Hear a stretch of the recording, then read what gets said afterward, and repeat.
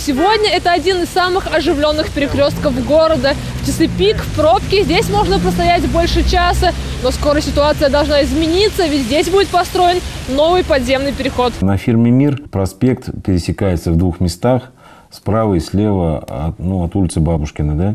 Э, к сожалению, не получилось сделать полноценный пешеходный переход, чтобы можно было на, на все четыре стороны выйти. Там идет теплотрасса, получается только сделать параллельно в двух местах проспект пересечь. Два года назад президентом была поставлена задача э, разработать, рассмотреть э, весь город и подобрать места, где наиболее сложная обстановка с пешеходными переходами. Мы подобрали порядка 35 мест по городу. Охвачен весь город, и Черниковка, и южная часть города. Первыми пешеходными переходами были определены это бульвар Славы и Юношеская библиотека, уже такие два наболевших самых, наверное, места.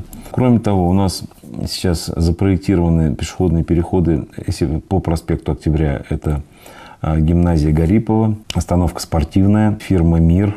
Еще у нас сейчас готов проект э, на остановке Театральная, это по улице Пушкина. Если говорить о надземных пешеходных переходах, то по автодороге Уфа-Аэропорт у нас сейчас на экспертизе проекты на остановке Кооперативная поляна и Металлобаза.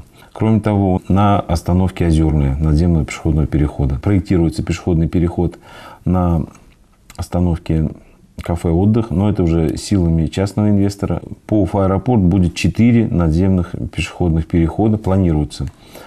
И если удастся построить э, Чесноковскую развязку, то у нас практически все светофоры будут ликвидированы на трассе Уфа-аэропорт. Мы находимся на остановке Юношеская библиотека, и уже с лета здесь ведется строительство подземного перехода. И, как обещает управление коммунального хозяйства, объект будет сдан уже в следующем году.